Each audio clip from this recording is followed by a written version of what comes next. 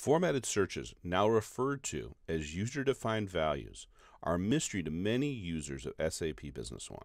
They provide some degree of custom automation in your system where it might not have it otherwise.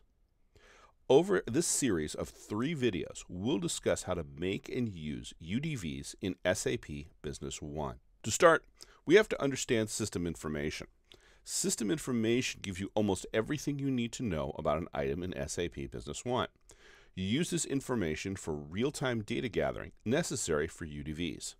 If you've worked in SQL, you've probably used system information before. I covered it in SAP Business One Reporting and Customization. You turn on the option over here in View and you go to System Information here. And you'll see also that there is a keyboard shortcut of Control Shift I. So I'm just going to click it on. System information contextually tells you user interface and table information as your cursor hovers over a part of SAP. Currently, I have no windows open. So if I go over here, let's say to Tools, and I'll go to Queries, and I'll go over here to the Query Manager. You can see in the lower left corner a menu UID in square brackets of 4865. If I had a customization add-on like Boyum's B1 usability package, I could automatically use UIDs to launch parts of SAP with this number. Now I'm going to go over here and hover over the main menu. Okay, and I'm just going to go over here where it says OEC Computers.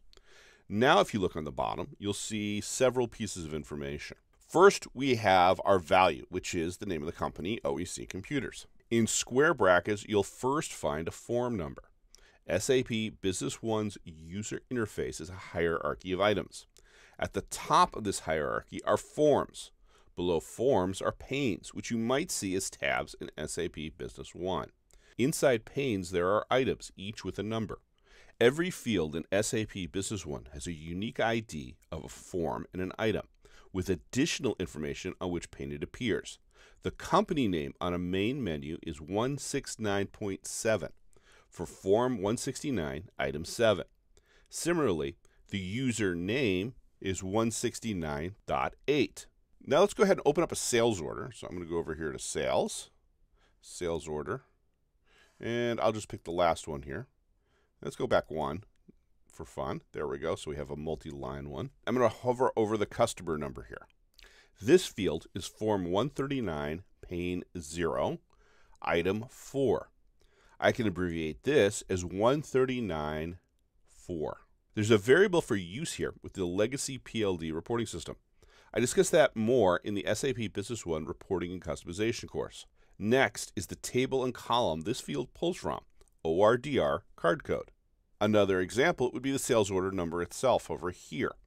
We can identify this as 139.8 for Form 139, Item 8. Its table is ORDR, and its column is DocNum.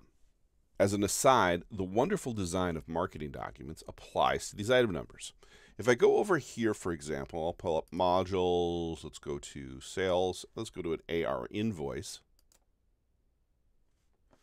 and I hover over here, you'll see that we're on Form 133 for an AR invoice, but the item number is the same. Item numbers will match up on marketing documents for most of the major ones that you're going to be playing with. So I always know that number 8 is going to be the docnum for a marketing document. So I'm going to go ahead and close that and come back over here to my sales order. Let's go over here to logistics first. And I'm going to click over here on the shipping type. And we're going to see something a little different here. We first see 139 for the form and item 121. We also see pane 6. Panes are the tabs in the form. The header is pane 0, but tabs underneath it will have other pane numbers. So it's another way that you can address things in a user interface. Also notice the value of the shipping type is negative 1 here. It's a number. System information gives you raw data, not the displayed data. There's a link somewhere to that longer description. And if you get a number like negative 1 here, that probably means it's blank, as in the case here with the shipping type that hasn't been set yet. All right, I'm to go back over here to Contents tab.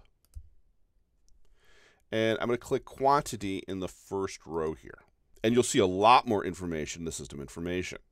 We've got a lot of the same stuff. We've got our value of 3. We know it's form 139. It's item 8. We're now on pane one, which is the contents pane. And then we get two more pieces of information, column 11 and row 1. When you're in a table like we are here with the item numbers, you'll see that it gives you the exact position on the table. We are in row 1 of this table, but we're also in column 11. If I hover down to the other two items here, you'll see that the row number changes, but the column doesn't.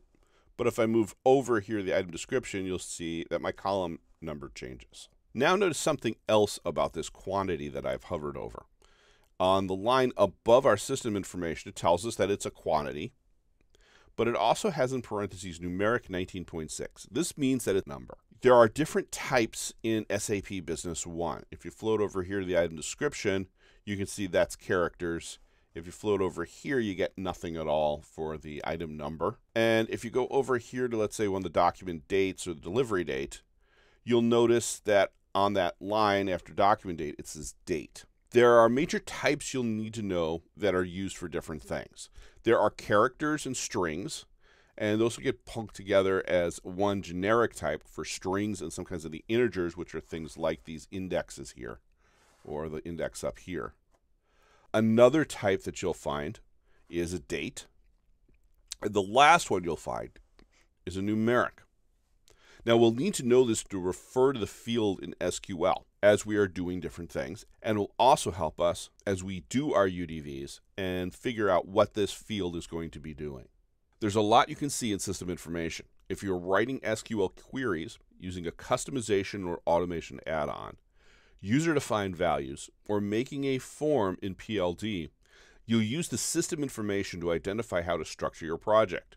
In our next newsletter video, I'll show you the next step in making a UDV, using special nomenclature to grab values in real time from a user interface and then add them to an SQL query.